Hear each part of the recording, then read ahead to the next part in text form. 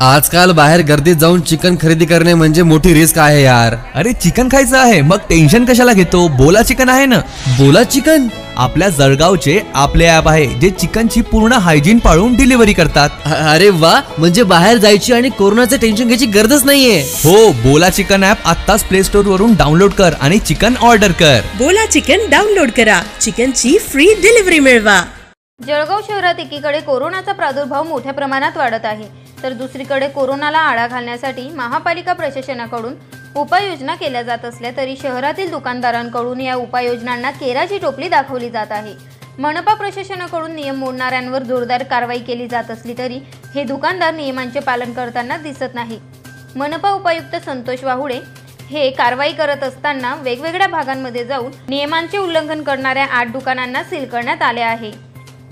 तसेच प्लॅस्टिक व थर्माकॉल उत्पादनावर बंदी आहे. मात्र शहरातील अनेक विक्रेत्यांकडून अजूनही प्लॅस्टिकचा वापर मोठ्या प्रमाणात होत असल्याचे आढळून आले.